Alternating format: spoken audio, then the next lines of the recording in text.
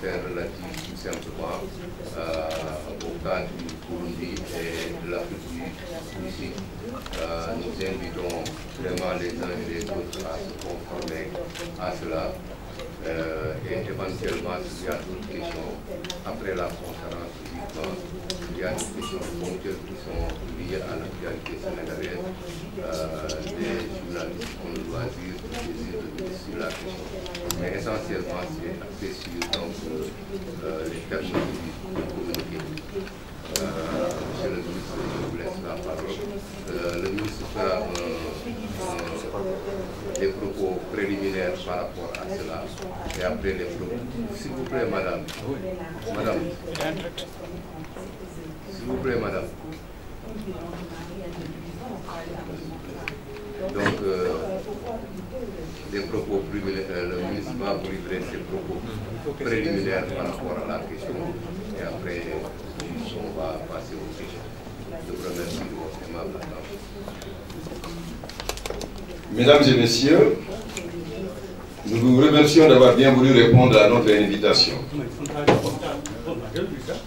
Nous venons d'enjamber le XXIe siècle, le XXe siècle qui a enregistré de gigantesques progrès économiques, scientifiques, technologiques et techniques, mais qui en même temps a produit des idéologies extrémistes et funestes, deux guerres mondiales effroyables, des conflits régionaux dévastateurs et trois génocides qui heurtent encore nos mémoires collectives. La création de la Cour pénale internationale le 17 juillet 1998 annonçait une nouvelle espérance pour l'humanité éprise de justice et de paix. Elle est la première juridiction pénale internationale permanente chargée de juger les plus hauts responsables des crimes les plus graves qui froissent la conscience universelle, à savoir le génocide, les crimes de guerre, les crimes contre l'humanité et les crimes d'agression. Elle marque une étape importante dans la lutte contre l'impunité et elle s'inscrit dans le sillage historique des tribunaux de Nuremberg et de Tokyo, mais également des tribunaux pénaux internationaux ad hoc sur l'ex-Yougoslavie et sur le Rwanda. L'Afrique a massivement adhéré au statut de Rome en participant activement à la conférence diplomatique tenue en Italie en 1998 et qui a porté sur les fonds baptismaux. Cette juridiction internationale qui a suscité beaucoup d'espoir pour les victimes des crimes de masse et d'atrocités et pour tous ceux qui s'investissent pour une justice répondant aux exigences d'impartialité, d'équité et d'indépendance.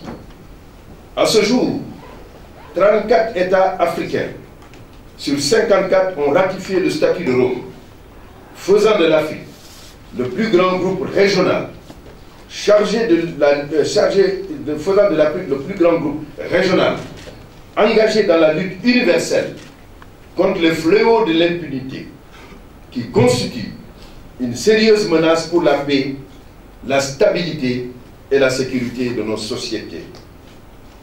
Il était couramment admis que l'impunité était une cause principale, sinon une source première de la quasi-totalité des crises et conflits qui occasionnent des violations massives des droits de l'homme avec son cortège de milliers de réfugiés. La critique formulée contre la CPI est qu'elle est contre l'Afrique et que celles des ressortissants africains sont poursuivis et jugés devant cette juridiction considérée comme sélective et discriminatoire. Il faut préciser que les faits sont têtus.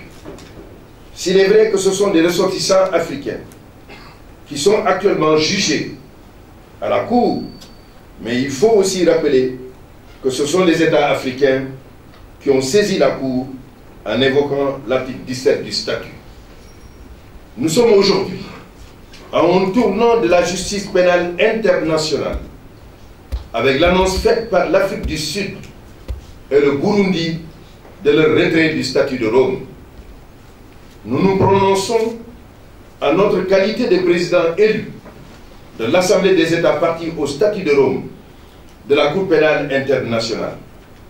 Le président Macky Sall a rappelé au sommet de l'Union africaine qui s'est tenu à Kigali la position du Sénégal sur la Cour pénale internationale. Nous l'endossons. Nous regrettons ces retraits, mais il faut reconnaître qu'il constitue un acte de souveraineté conforme aux conditions d'adhésion et de restaurer au statut de Rome. Ils sont conformes également à la Convention de Vienne sur les droits des traités de 1969. Chacun de ces pays, le Burundi et l'Afrique du Sud, a eu à jouer un rôle important dans la création de la Cour pénale internationale, notamment l'Afrique du Sud, qui a vaincu l'apartheid et qui a une longue tradition de lutte contre l'injustice et l'impunité. Bien évidemment, on ne peut pas balayer d'un revers de main les appréhensions, les critiques, voire les récriminations des pays africains.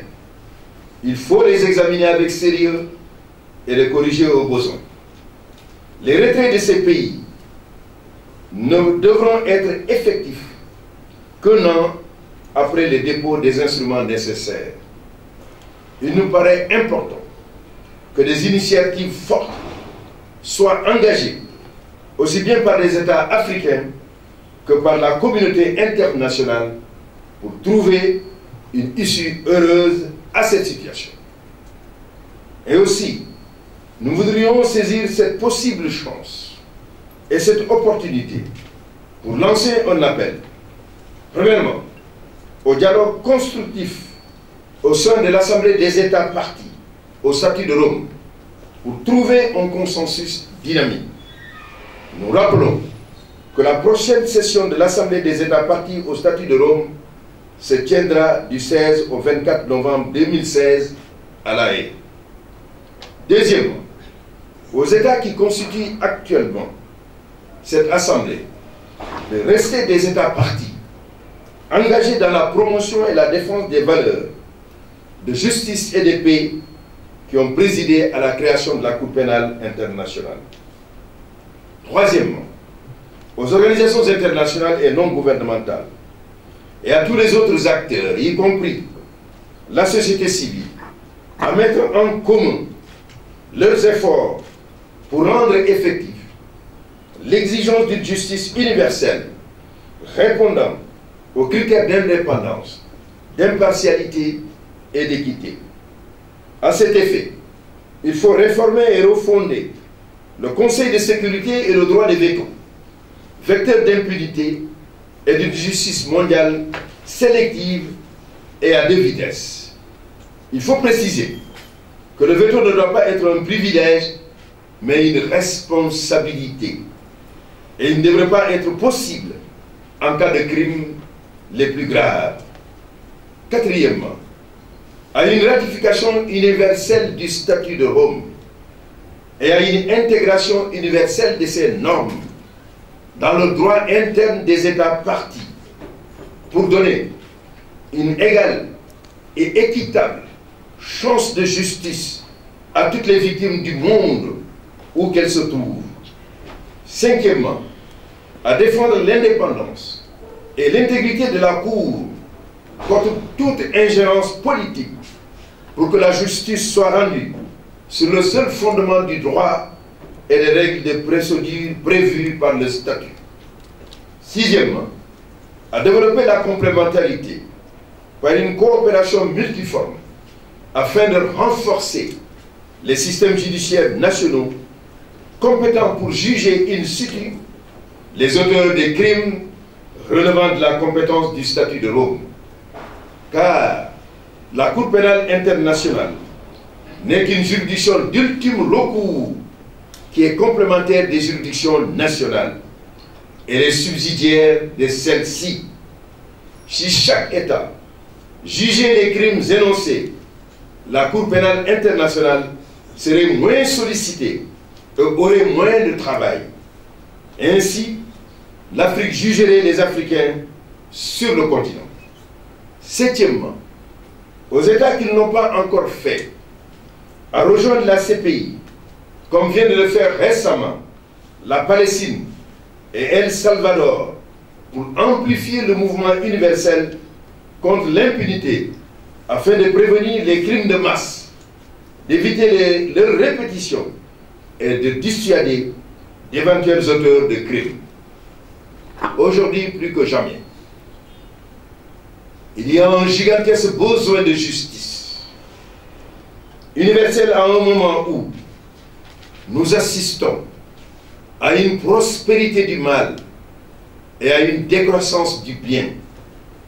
Ces tragédies qui se déroulent devant nous, sous nos yeux, exigent que l'humanité apporte une réponse sans équivoque qui préserve la dignité de chaque être humain ainsi que la paix et la sécurité internationale.